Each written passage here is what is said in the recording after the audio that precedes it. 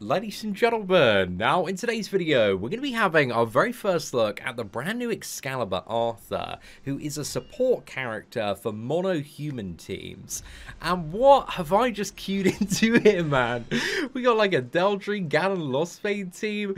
Okay, dude, this is very, very weird. Um, what do I want to go for here? Do I just want to like Merc the Lostvayne? Uh, I think so. And then let's, uh, let's go for like the Escanor cards here. We're not being uh, we're only being taunted by Galand uh, over here. So let's also go for the Arthur Cleave card as well. Because Arthur has the same um, uh, Cleave card as Lostvayne Meliodas. So it deals damage to all enemies and ignores defense as well. But Arthur's passive increases the damage dealt by human characters by 20% uh, and also increases their health by 30%. What? What the hell is this man running? oh my goodness, dude. So yeah, I, uh, I, I think his strategy was to try and protect like Lostvayne and rush alt there. Uh, so he's going for like uh, Galand now. You know, th this man is like a true meme man. Um, yeah, I, I'm like, I'm a little bit impressed right now. Well, this is kind of perfect for the showcase, because then we can just rush, um, uh, what is it, Arthur's Ult. But with health food, man, this is the health of my human characters. So just to show you here. So Escanor, we got 180k. Might I remind you as well, this is ungeared. So yeah, that that's nuts, dude. That is absolutely wild. So yeah, I think we'll go for this as well. But yeah, I've I've I've I've just got to respect this man, really. this is the weirdest team I've ever seen, dude. This is like Champion 2 as well. Uh, so yeah, I just I don't even know what to make of this, man. Right, so we're having the, the big taunt on Galand here. Uh, gets a little bit of health-related stats, then smacks into Arthur. We got a strong damage reduction there. So yeah, we can just uh, we can get Merc in, and also just to show you Arthur's um, uh, base stats here as well. Again, he's got about 151 uh, with health food and his passive as well. Uh, so yeah, overall, man, that's still pretty damn good. Um, so yeah, I think we go for this, and then actually let's uh, let's one tap, two tap, and then go for Arthur's ulti, I reckon. And my Arthur is uh, 4-6, just to show you as well. But this should get Galand down here. And you see, even without the crits, man, the base damage on Roxy, she is slapping with this passive. And then hopefully we one-shot Deldry here. Oh my god, dude, that ultimate looks amazing. Oh, okay, that was really, really nice. Um, so yeah, that's it for the uh, the warm-up match. But let's see if we can find um uh, our next opponent. Alright, now next up, we got Salt Mode Melee and Festival Zeldris here. So let's go for the merger on Arthur. This is actually definitely a player.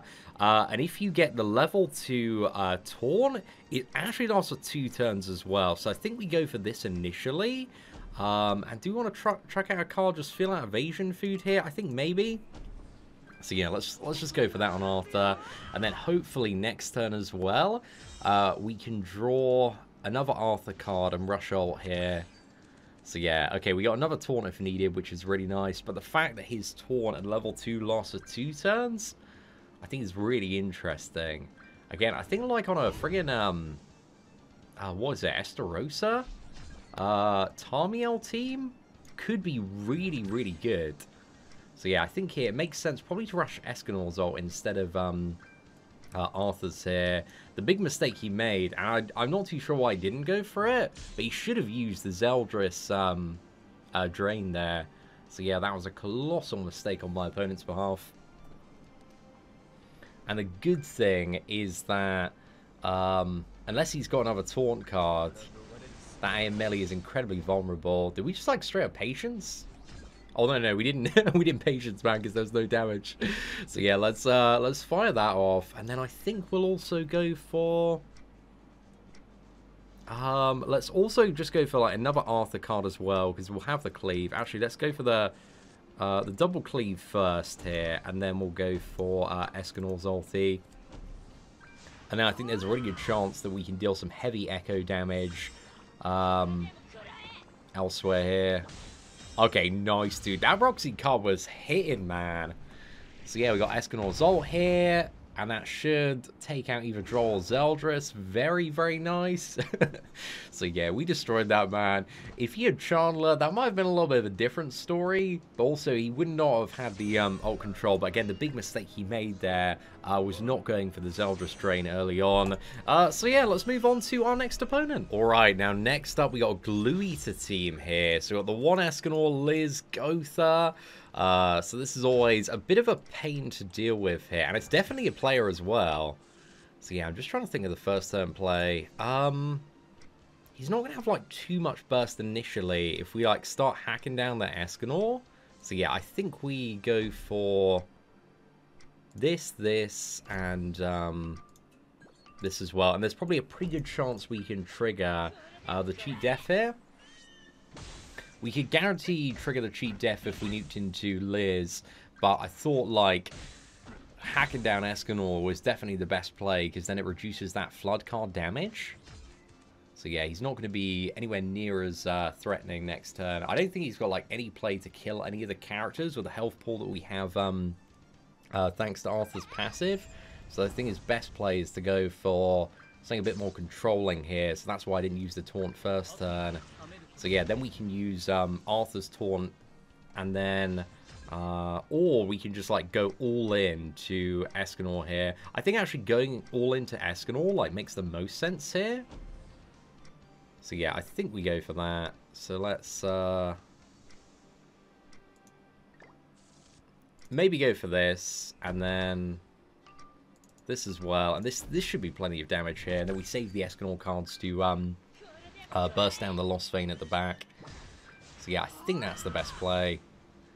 Get a nice cleave again. Arthur really isn't uh, much of a, uh, what is it, insane performing character himself. The value is in the fact that he can taunt up, he can take the pressure off your stupidly overpowered human characters, while also, um, uh, yeah, meaning if they single target the One or Roxy, they are just going to have such an impossible time trying to kill them. Unless they've got, like, crazy draw and also a lot of luck as well. Hmm. Okay, here, I, I think we just, like, murk in and see if we can, like, smash through that, um... Lostvayne? I think we should be able to break shield here, based off the damage that I've seen. Uh, I don't think it was an upgraded one as well, so yeah, we should be fine. We'll go for this just in case. But if Arthur can break the shield here, then I don't need to worry. Uh, oh, nice. That was perfect, dude. That was really, really good. Then, yeah, we can just crit the Lostvayne, smash in. And as soon as Lostvayne's down, then he's kind of lost his win condition. Because with this uh, health buff, again, there's no way that he can win the match with Gowther now. Because he needs to, like, cycle uh, a couple of Gowther ults. And by the time he's done that, then, yeah, like, I think we're just chilling, man. And we can also, again, go for Arthur's uh, damage reduction as well to um, uh, survive Gowther's ult. So yeah, we just need to like wait for a good time to kind of snipe in and uh, just kind of tank up here from now. But again, the one Escanor, um, like this is this is close to his peak. I should have looked at the stats on his peak, uh, but this is uh, yeah two buffs, man, 180k. But a peak, dude, it's probably closer to about 190k there, which is really really nice. And let's go for this. And uh, I think I'm just going to merge on Roxy again. It doesn't really matter here. Going to get alt drained, but unless I'm confident one-shotting again, the damage reflect is going to be crazy. Uh, but now we got the two-turn taunt on Arthur. I guess Arthur can be uh, stance removed here, but it doesn't look like he's going to go for that play. He's probably going to go for the play of Drain Ult and then either Shield Up um, or Pumpkin Bombs, I would assume. So yeah, again, that barely touched the sides there, man. Right, so he does have, have the stance removal. Again, slightly unfortunate thing, but again, it prevents like Roxy and Escanor from being stunned, and that is a really, really big thing. So yeah, let's uh, just move around the Roxy cards here, I think. And then we can uh, get Roxy's ult. Again, that puts pressure then to control Roxy and takes pressure uh, off of the one Escanor. And then we can like either... Yeah, I think we just double Escanor card next turn. Unless he's got stuns for everyone, man. Oh my god. Does he have stuns for everyone? Oh my goodness. Okay, so he's going for Liz's ult here. Interesting. So yeah, we just... At this point, we just like want to rush um, Escanor's ult as well. Because yeah, with the shield, we can't quite clap in there. But now, now we're in like a, a good scenario where we can probably one-shot that Liz uh, next turn. So yeah, I I, th I think we can do it, man. I think we can do it. We, we just need to crit right. Even if we don't crit, like, it should be fine. this this man is really, uh, really keen on playing this one out. So yeah, if we go for the move here, and then I'm just going to, like, move here as well. So as long as we one-shot Liz here, dude, we chilling. And we should be fine again. We got 20% bonus damage from, um, uh, Arthur's passive, so easy one-shot there. Uh, Escanor, debuff immune, so no pumpkin bombs we have to worry about. I mean, you know, he had to use them last time anyway if he wanted to roll back. But yeah, again, we kind of just, like, ramped up the pressure there. And even, like, if he did have, like, another ult here again, we'd still be uh, fine in terms of surviving.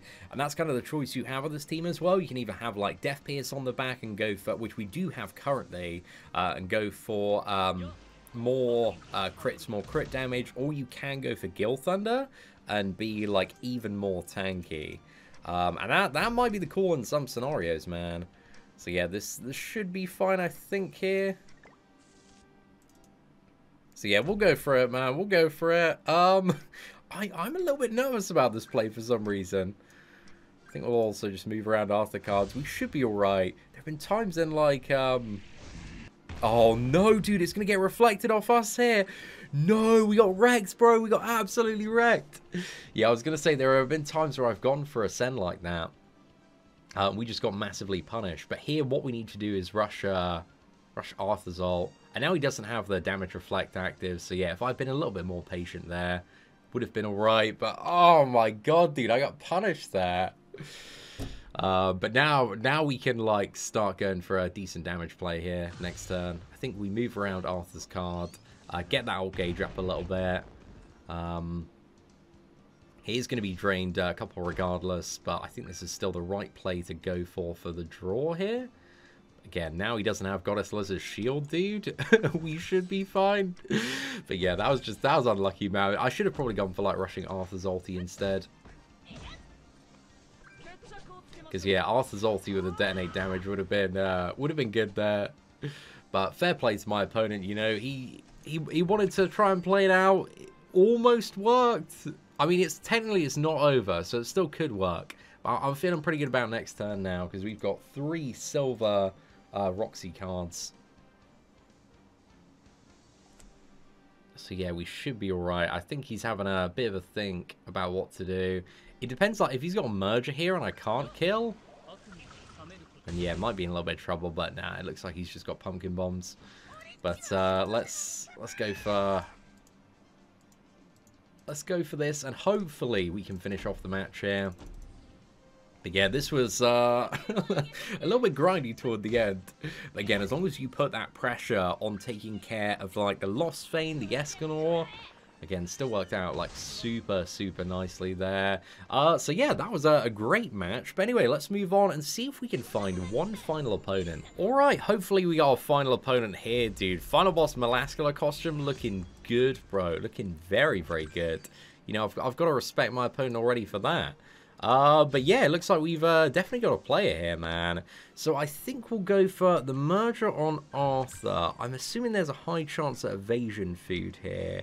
So I think we go for that. And for now, I'm just going to move this uh, card around just so we can guarantee that we get um, uh, Arthur's ult. But yeah, there's no evasion food here. Okay, this is going to be an interesting test. Oh my god, dude. That's fantastic draw there. I think we can get both uh, Escanor and Arthur's ult next turn. So yeah, that's uh, that's really, really good.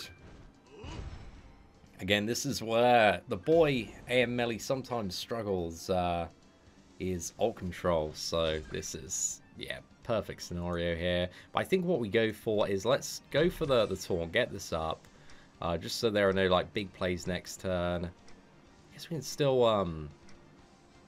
Yeah, I, I think we go for anyway, man. Like, uh... One annoying thing he potentially can do, uh, thinking about next turn, is just, like, petrify Arthur but at the same time, um, he's still going to have to deal with the ultimate, the one Escanor. So yeah, it depends what he's got access to. His best play here is probably to merge a Droll card into a Petrify if he's got it. uh, but he doesn't have it, so that's really good news. So what we can do here is fire this off. This will trigger the cheat death on um, uh, Droll there, and use Arthur's ulti on uh, Melee, and then just like send the gold card. If we're really lucky, we wipe everything apart from Droll, who's on one health. I think here. So yeah, let's check that out. 130k. Uh, and again, Arthur's got a really good ultimate that deals um, uh, additional damage based on uh, how high the opponent's ult gauge is as well. so yeah, that was a sick play, man. That worked out really, really well. But again, we did get we did get a little bit lucky with the draw in that match.